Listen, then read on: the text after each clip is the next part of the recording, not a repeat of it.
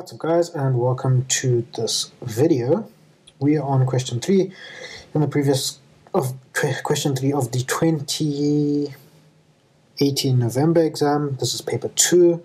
Um, in the previous video we did question 2 so we're moving on to question 3. So let's get straight into it. So on the set of axes below the graph of f of x is equal to cos 2x between 0 and 180 degrees has been sketched. Okay, so we have a nice graph. Then it says on the set of axes shown above, sketch a graph g of x is equal to 3 times sine 2x between 0 and 180 degrees. Okay, so before we can sketch this, let us first understand what is happening. Okay, so we start off with our normal sine graph.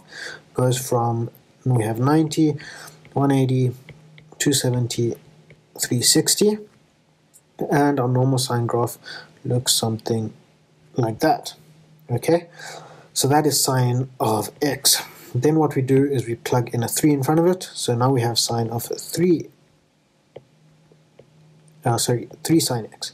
Okay? And this point here was 1 and this point here was minus 1 so when we plug in a 3 in front we're multiplying everything by 3 so what happens is so what happens is this thing goes up all the way to 3 and it goes all the way down to minus 3. So we change the amplitude. Okay, now we've also plugged in a 2 in front of the x. So we have another change and what we have is we have, uh, let's try a color, it's going to stand out, let's say green. We have 3 sine 2x. Okay, so what does that do? What that does is the normal period for sine x is 360 degrees. But when we plug in a 2, we divide the normal period by 2, so our period now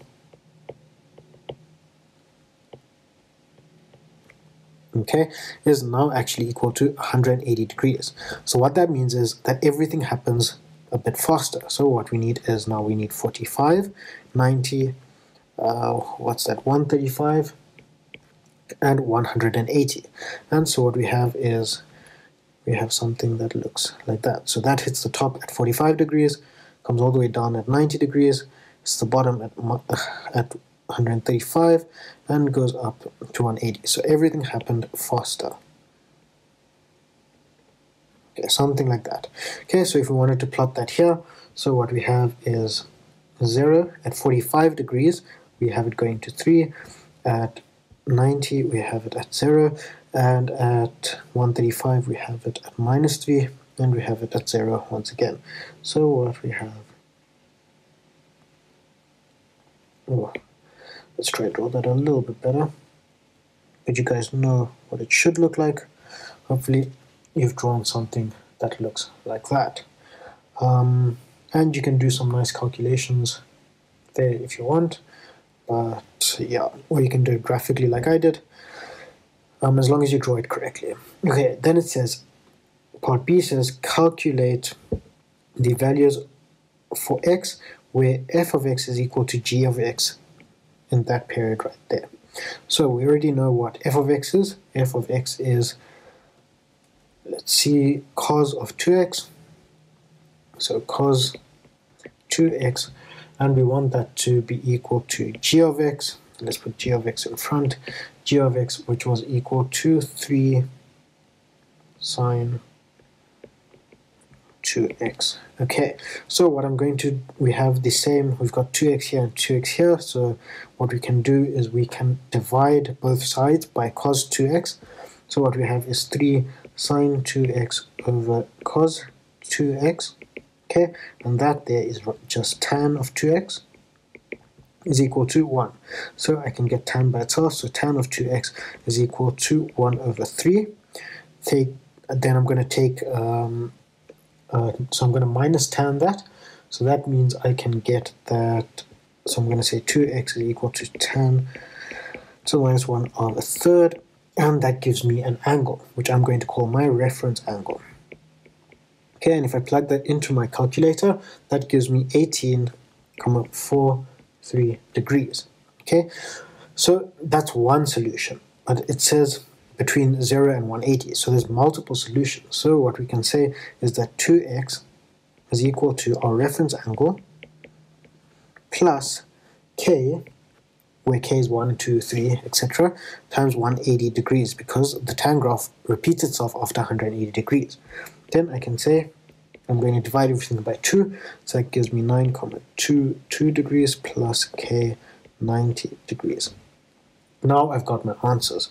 So x is equal to 9 comma 2, 2 degrees plus I let k equals so that was for k equals 0 then I let k equals 1 uh, and I get 99,22 degrees then if I let k equals 2 then we are above 180 so we stop at that point and that is our solution.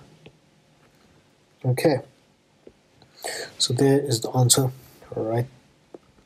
Um, yeah.